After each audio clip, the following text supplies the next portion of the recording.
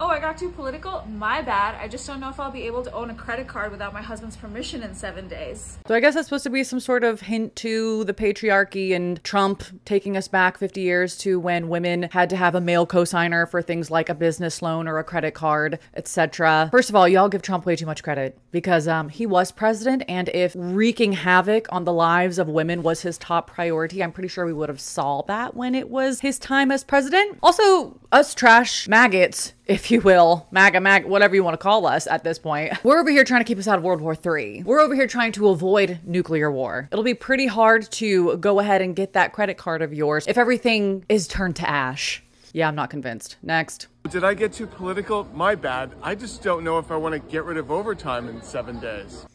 So I think you may mean no taxes on overtime, not get rid of overtime. Yeah. Trump said that he wanted to have tax free overtime pay. So I think you might be confused, my friend. All right. Next. Oh, I've gotten too political? My bad. I just want to make sure I have access to birth control in seven days. You'll still have access. I promise you. Oh, I got too political? My bad. I guess I don't know if I'm going to be a U.S. citizen in seven days. I mean, you're an American citizen or you're not. You're you're either here legally or you're not. And that would be breaking the law. Oh, I got too political? My bad. I'm just worried I won't be able to love who I love in seven days. Trump is so homophobic, he allowed two gay men to get married at his Mar-a-Lago estate. The nerve. Did I get political? My bad. I just don't want my mother to be denied her health care because she has a pre-existing condition. Okay, so healthcare. Let's talk about it for a hot little second. The guiding principles of Trump's plan for healthcare is number 1 for families to be able to choose a plan that makes sense specifically for them. Number 2, Trump wants people to be able to choose and keep their doctor. And number 3, they want transparency when it comes to pricing. So here's a fun little fact. People in Europe actually pay less for prescription drugs that were created in America than Americans do. That's not fair. Trump fought to change this his first four years in office, and then guess what? Biden and Harris undid all of his work. Trump has cojones, unlike the left, because most of their cojones have been chopped off. He went head to head with Big Pharma to help lower the cost of prescription drugs. If he if he really wanted to destroy all of us, I don't really think he would have done that.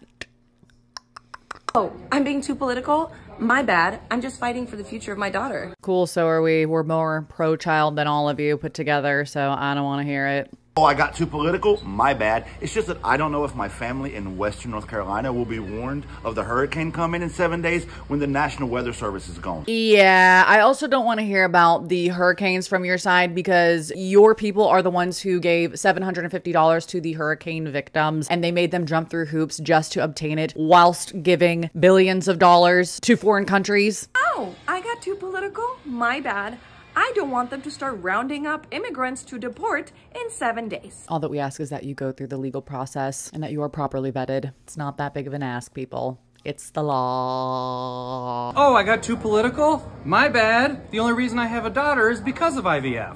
I'm announcing today in a major statement that under the Trump administration, your government will pay for, or your insurance company will be mandated to pay for, all costs associated with IVF treatment, fertilization for women, IVF treatment.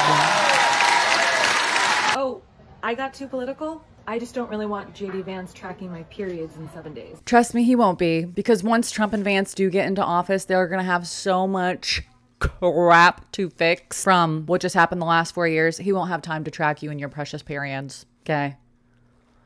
I got too political. My bad. I don't want Trump to take over the Board of Ed Education, put in his lackeys, his loyalists, and have y'all continue to think that Puerto Rico is not a part of America.